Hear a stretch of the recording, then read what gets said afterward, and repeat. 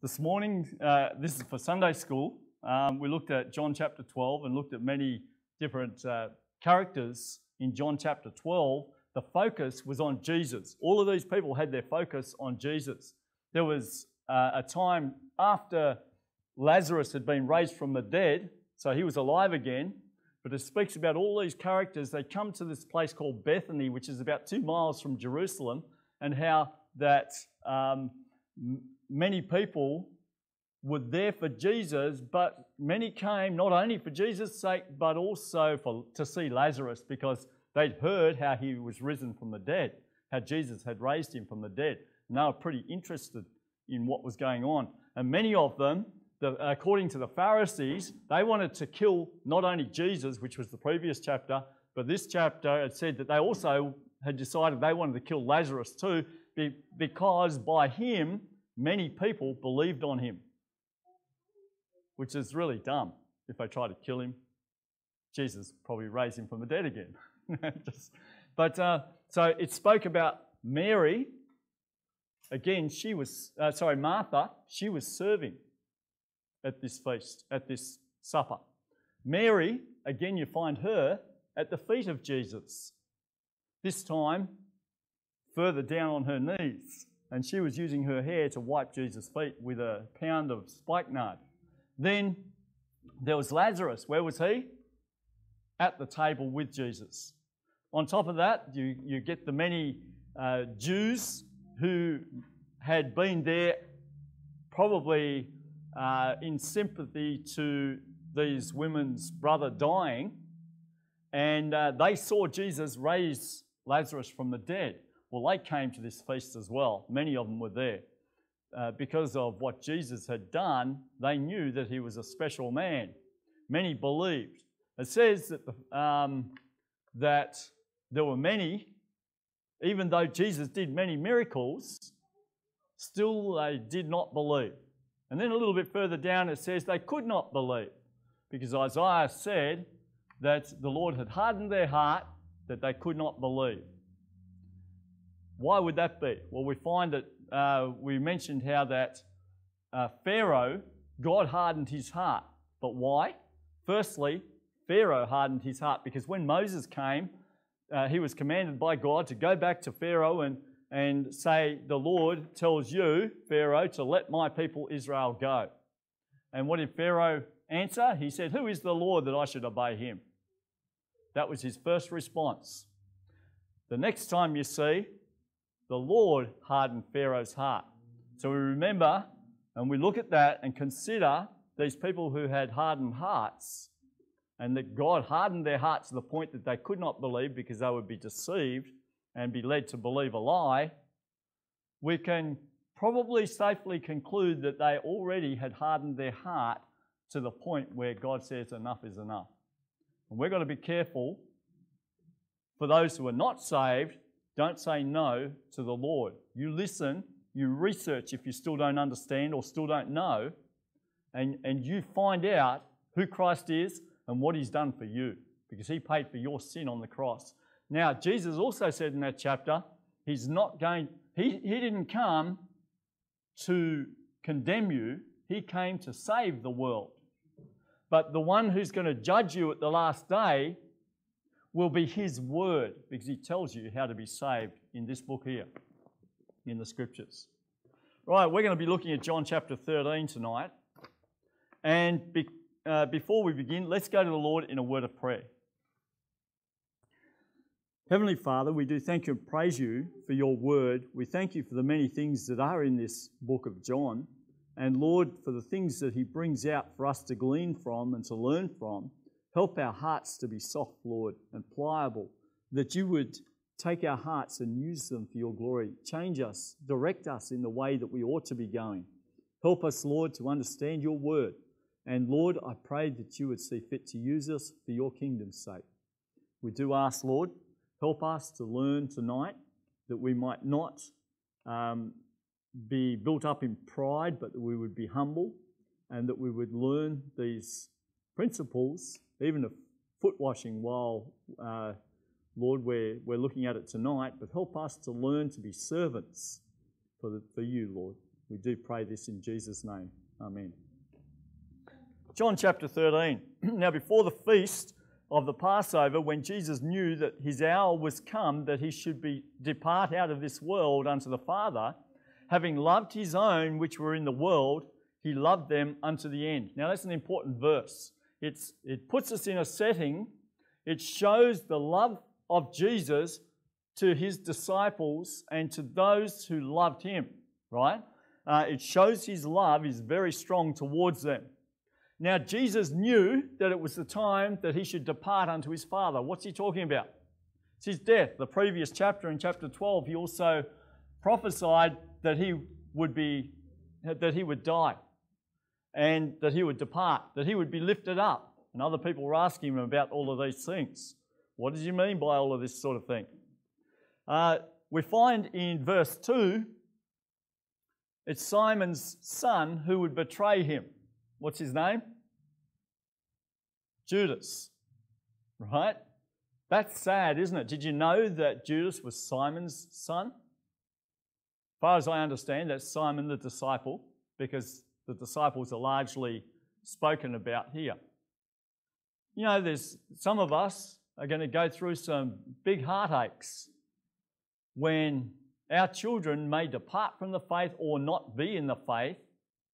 And you might have thought they were in the faith, but like Judas, his cloak was pretty good on the outside, but on the inside he was like the ravening wolves, just like the Pharisees, wasn't he? Okay? So here, supper was ended, and the devil now put into the heart of Judas Iscariot, Simon's son, to betray him. Did you know something about the devil? He can't do anything. If you look at the, the life of Job, he can't do anything to anybody without God say so. My guess is that Judas was largely like the Pharisees and different people in the chapter before who had hardened their heart, even though they had plenty of uh, evidence that Jesus was who he said he was. And there's numerous times that he says that I am. And that's the I am that uh, was way back in Abraham's time. Okay, so when he says that I am, actually to Moses, he said, um, like Moses was scared, and he said, Well, who, who shall I tell Pharaoh that's, that sent me? And God told him, I am. Tell him, I am has sent you. He is the all existent one. The, the, he's always been here. Okay, I am. So here, Jesus in verse 3, knowing that the Father had given all things into his hand and that he was come from God and went to God, he riseth from supper and laid aside his garments and took a towel and girded himself. Now that's interesting.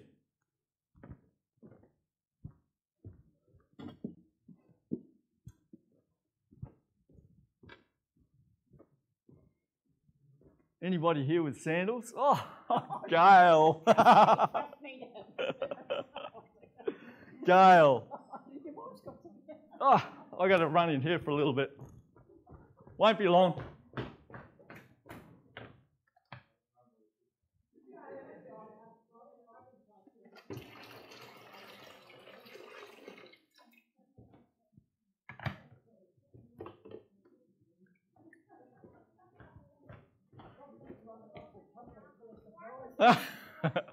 right, what does it say? Who can read the next verse for me? Caleb, can you read the next verse for me, please? Oh, I think it's about four.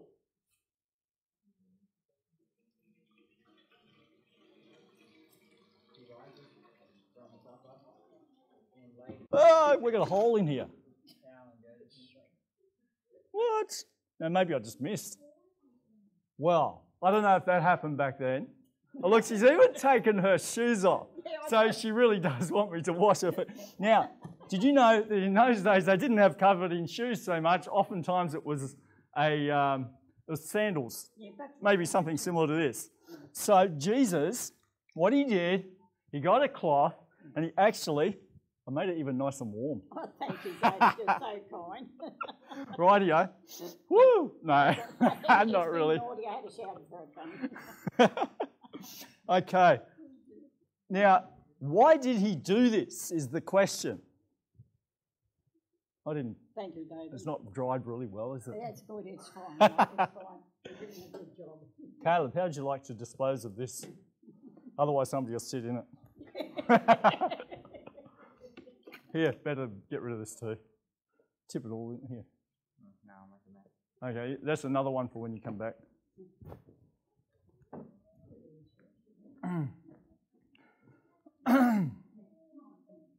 Wake us up a little bit. So he riseth from supper and laid aside his garments and took a towel and girded himself. After that, he had poured water into a basin and began to wash the disciples' feet and to wipe them with the towel wherewith he was girded. Now, I thought you would say, ah, don't do that. I chose Gail, but uh, somebody else might have said, oh, no. okay, and refuse. In verse 6 it says, Then cometh he to Simon Peter, and Peter saith unto him, Lord, dost thou wash my feet? Jesus answered and said unto him, What I do thou knowest not now, but thou shalt know hereafter. Peter saith unto him, Thou shalt never wash my feet. Jesus answered him, If I wash, not, uh, wash thee not, thou hast no part with me. What's he talking about? Right there. the heart. He's talking about if we have been cleaned by God, because it's the blood of Christ who, who washes away all of our sin, yeah? And uh, he said, What I do thou, thou knowest not now, but thou shalt know hereafter. He was about to go to the cross. He's teaching these disciples some of the last things that they would hear before he went to the cross and died, was buried, resurrected. Okay? Peter, in verse 8, saith unto him, Thou shalt never wash my feet. Jesus answered, If I wash thee not, thou hast no part with me. Simon Peter saith unto him, Lord, not my feet only, but also my hands and, and my head. He's saying, Well, wash me all if I need to clean, be clean. Jesus saith unto him, and this is a really important thing too, He that washeth or washed needeth not save to wash his feet, but is clean everywhere. And ye are clean, but not all. Now, what's he saying here? If you've had a shower, right, but you had to walk the two miles from Jerusalem to Bethany where he was, you're going to get grubby feet because you got sandals not covered in shoes. Pretty evident, right? And also, if it was covered in, you probably have sweaty feet. And he was showing himself to be lowly enough to do the humblest task there was to wash somebody's smelly, dirty old feet. But he says, you don't need to be completely washed because you're already washed. You only need your feet cleaned.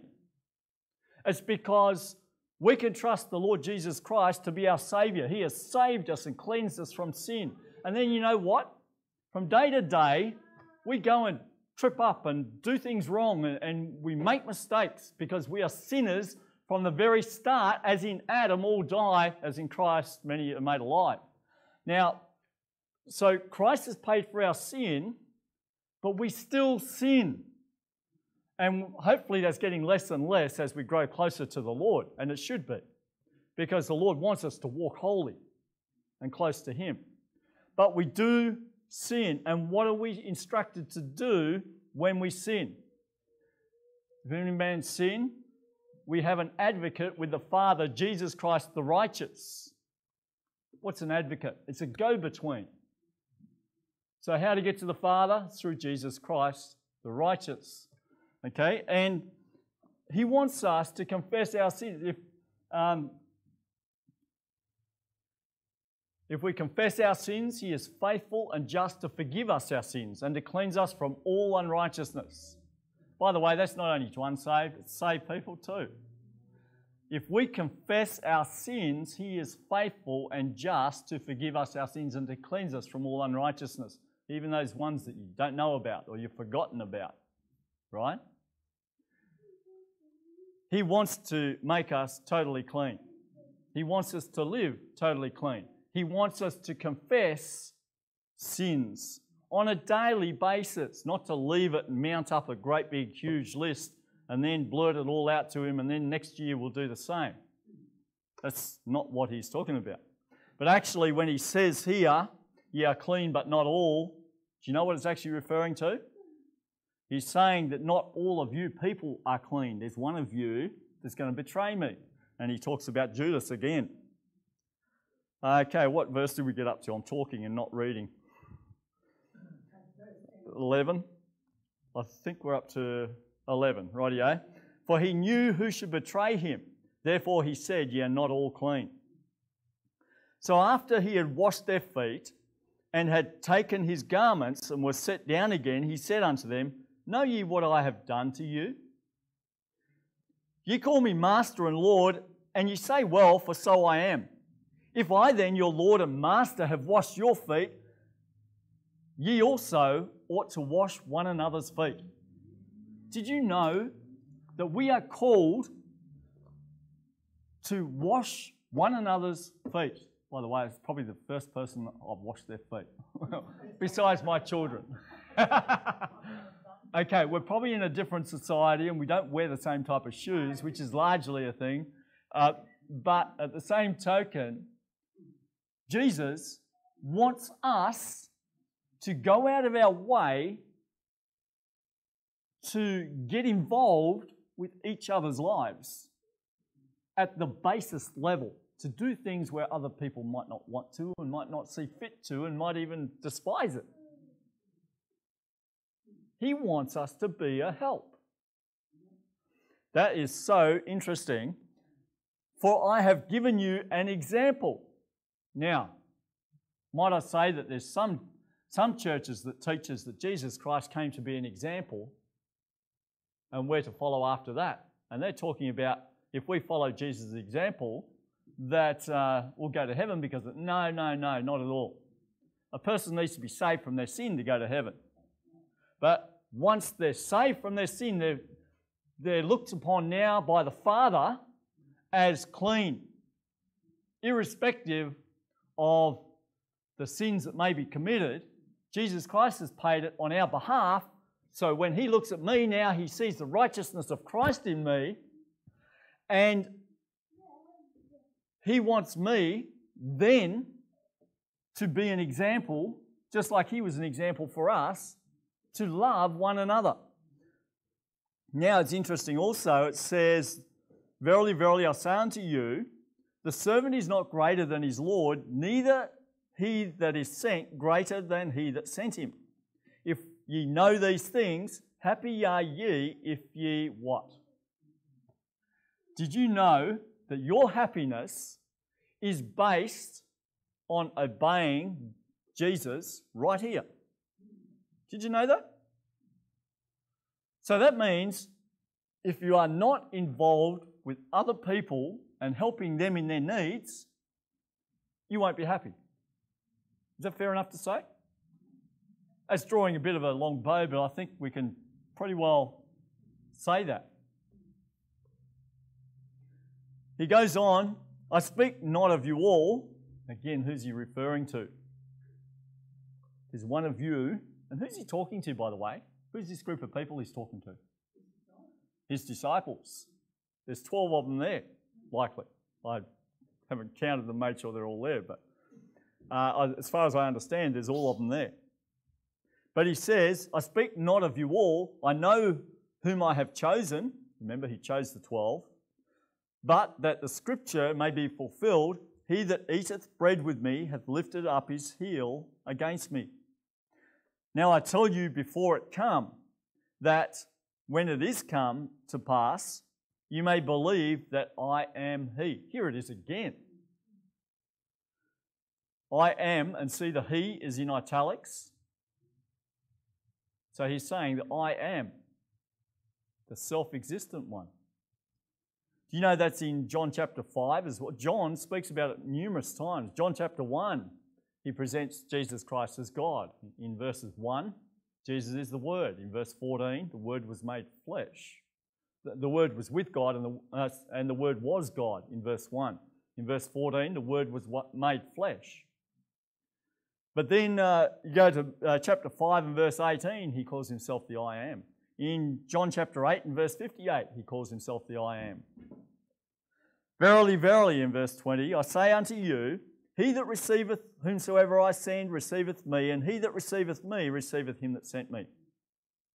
When Jesus had thus said, he was troubled in spirit and testified and said, Verily, verily, what does that mean? Truly, truly. And you can just about hear the expression coming and bouncing off the page there. Truly, truly, I say unto you that one of you shall betray me. This is his disciples who he loved, and one of them is going to betray him. Now you've got the 12.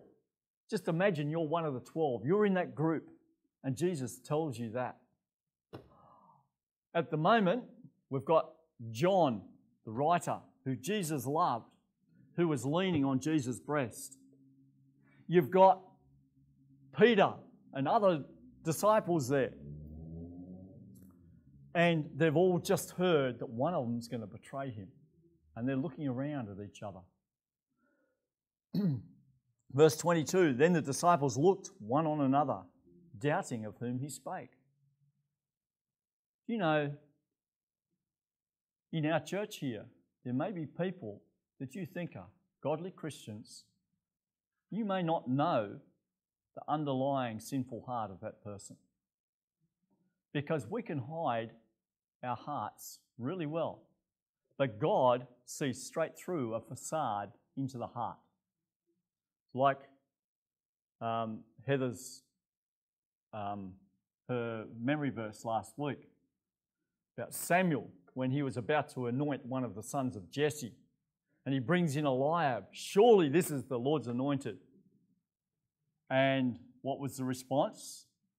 God tells Samuel, don't look on, uh, don't, don't look as man looks. Sorry, what's the verse? How's it start off?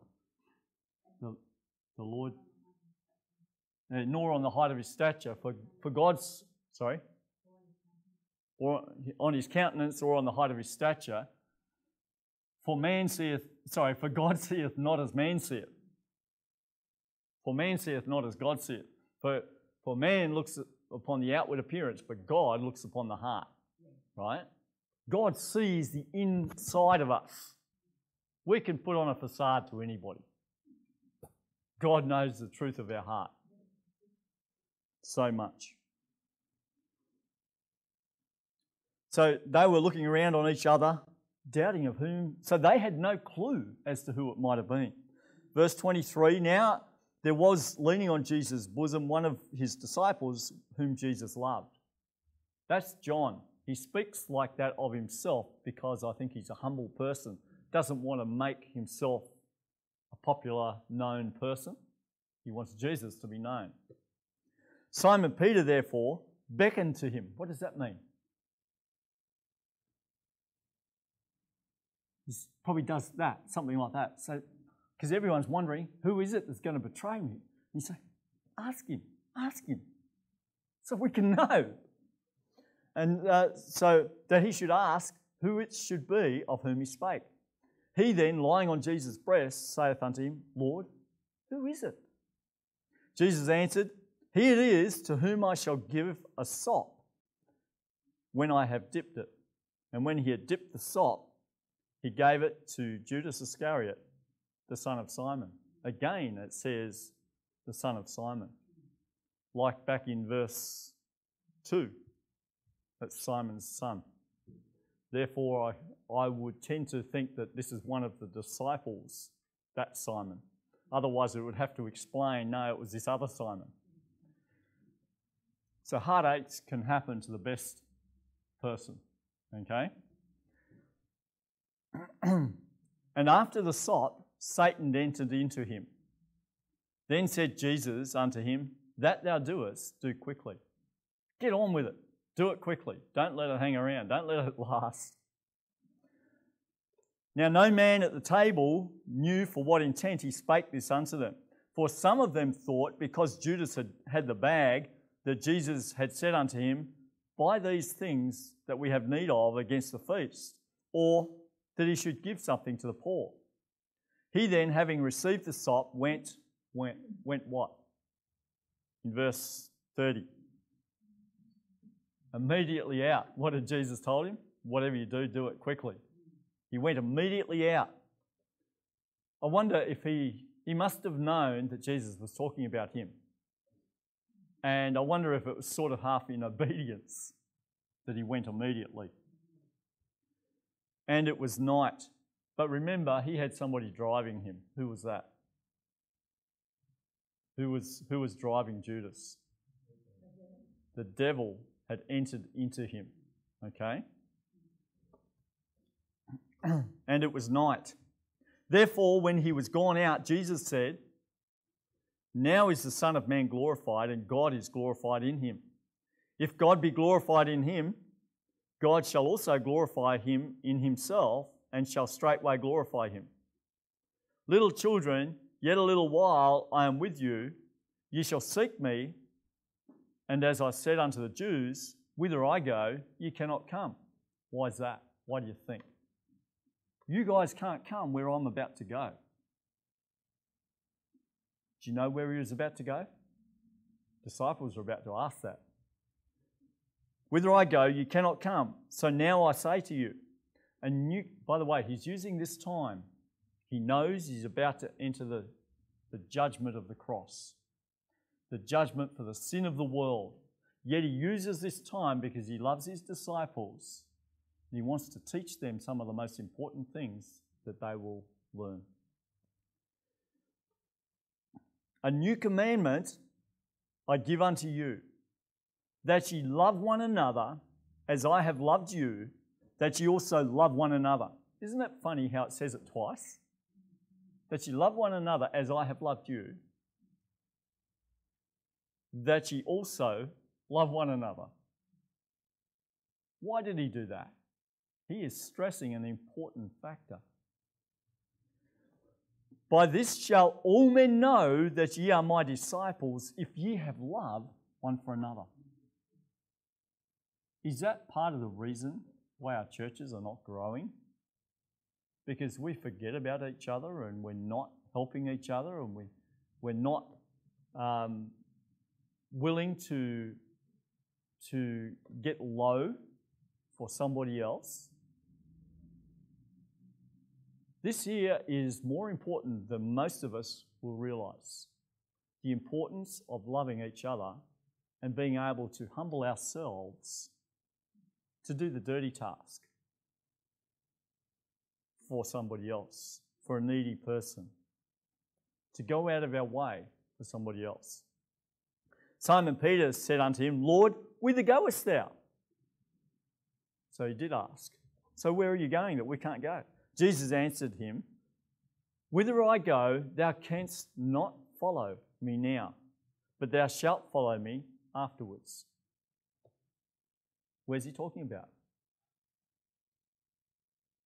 Where do you think? The cross. Thou shalt follow me afterwards. It was Peter that was actually thinking of it now, was supposed to have been crucified upside down. That was Peter, wasn't it? one of the disciples was crucified upside down. It's interesting that he says, You can't follow me now, but shalt follow me hereafter. That's if he was talking about the cross or if it's talking about death more general and entering glory. Peter said unto him, Lord, why cannot I follow thee now? I will lay down my life for thy sake. Jesus answered him, Wilt thou lay down thy life for my sake? Verily, verily, I say unto thee, the cock shall not crow till thou hast denied me thrice. So he was letting Peter know, and he was mentioning all the way little things that would happen in the process of time so that when they did happen, they would know and understand that Jesus is who he says he is. We're going to look up some other verses here now. We've gone right through that chapter. Please turn to Matthew chapter 22, verse 37 to 39. Matthew 22. 37 to 39. I know you know these verses, they're very common.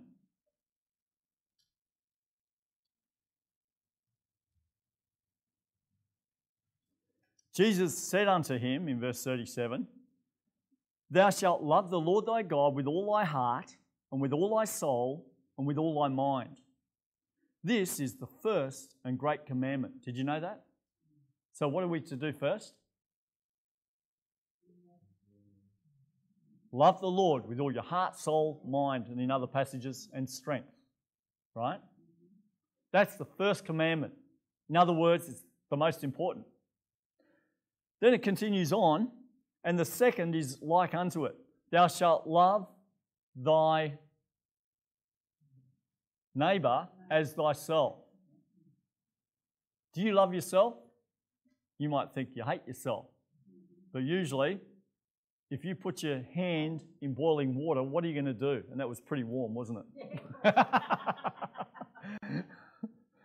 You're going to pull it out pretty quick. Why? Because you love yourself too much. I mean, not too much, but you do love yourself, right? But then it says, on these two commandments hang all the law and the prophets. Pretty important stuff. We'll go over to Mark chapter 12, which is a, the same type of thing, but it adds another little aspect. Mark chapter 12.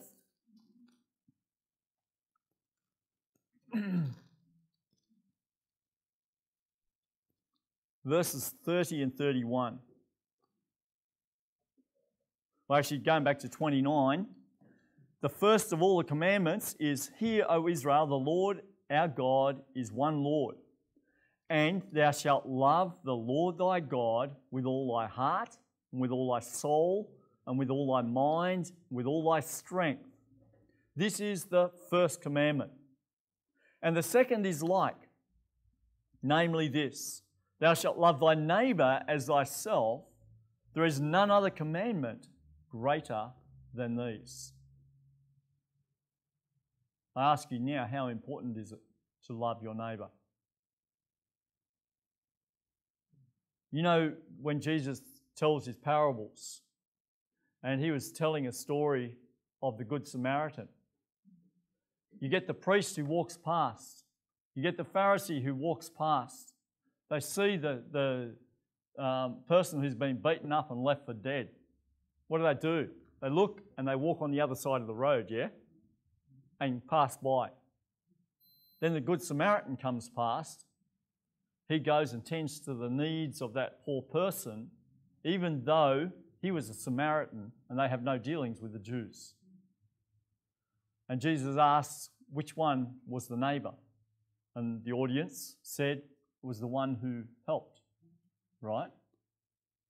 Important to be a neighbour to those in need. There is no other commandment greater than these. We're told that we're to love our brother. And if we say that we love him, yet we don't, what are we? We're hypocrites, aren't we? In 1 Corinthians 13, we can have all the doctrine, we can have all this other stuff. But without charity, what am I? A sounding brass and a tinkling cymbal.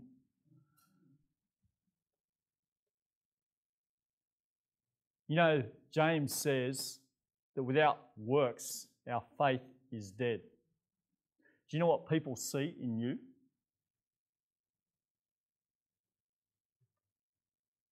They see your works. They don't see your faith. They can see your faith in action, but how does it manifest itself? In works. So when you are humbling yourself and helping another person, and others see, and by the way, we don't go, go around doing things just to be seen of people, right? That's not at all what I'm saying. But when people see, they understand that we've got a different heart for things because Christ is involved. And they see Jesus in us. Because this is being obedient to Jesus. Jesus showed us an example of this in the foot washing and making a puddle there. so it's very important to go the extra mile to help people out. And this is for a Christian to be obedient in this area of loving one another. So, short service tonight, that's different for me, but that's what I have to give you. So, let's close in a word of prayer.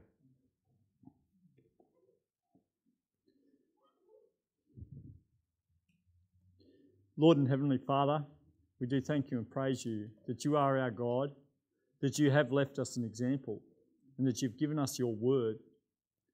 Help us, Lord, not only to know your word, but help us to put into practice these principles that you so much want to be part of our lives. Help us, Lord, to be that testimony and shining light that you want us to be. Lord, make a difference in our lives. Help us to cling unto you, to know you, know you closely. Help us to have a right heart, as we were talking about in Sunday school this morning. I pray, Lord, that you would use us throughout this week. Lord, maybe in little ways, just to be an encouragement to others, to our brother in Christ, that we might love each other and that others might know that we are your disciples. I pray, Lord, keep us from evil, keep us from sin. Help us, Lord, to focus on you, our dear Lord. And we pray in Jesus' name. Amen.